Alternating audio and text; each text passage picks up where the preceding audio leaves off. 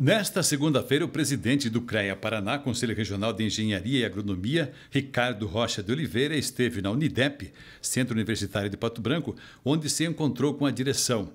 Ele estava acompanhado de lideranças do setor de engenharia aqui do Sudoeste.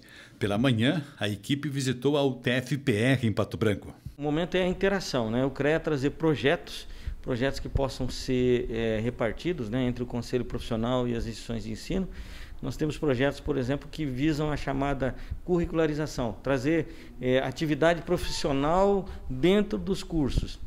Ricardo falou também sobre o encontro que teve com a governança regional aqui do Sudoeste, profissionais ligados ao CREA e entidades do setor. A intenção é construir projetos para a implantação de políticas públicas, a chamada Agenda Paraná do CREA. Nossa visão é a, nossa, é a visão das profissões, né? é isso que nós queremos que prevaleça. Né? São projetos técnicos com a presença de engenheiros, engenheiros agrônomos, geocientistas, né? geólogos, geógrafos.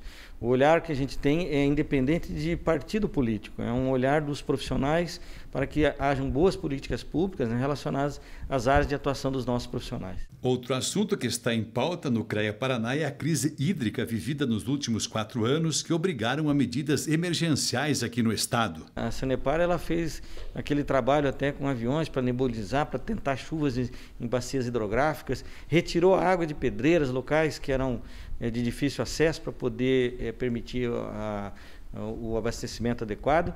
E mais recentemente nós tivemos um problema junto à agricultura. Né? Todas as regiões do Paraná, sudoeste foi muito afetado, oeste do Paraná foi afetado. E agora nós estamos numa discussão sobre o seguro agrícola e sobre as medidas de curto, médio e longo prazo. Né? O seguro agrícola precisa ser acionado para apoiar os nossos agricultores e a gente tem observado é, dificuldade nesse processo. Para discutir o tema, o seguro agrícola, o CREA vai realizar nesta quarta-feira uma live. Através do YouTube, né, do canal do CREA Paraná, estará aberto, né, assim, pode ser feitas perguntas, a gente gosta sempre, essas lives são uma forma interativa, nós estaremos com pessoas que estarão discutindo, né, esse cenário agora da agricultura, sobre a crise hídrica, em especial o seguro agrícola, e também a influência aí da guerra na questão da próxima safra, a questão dos fertilizantes,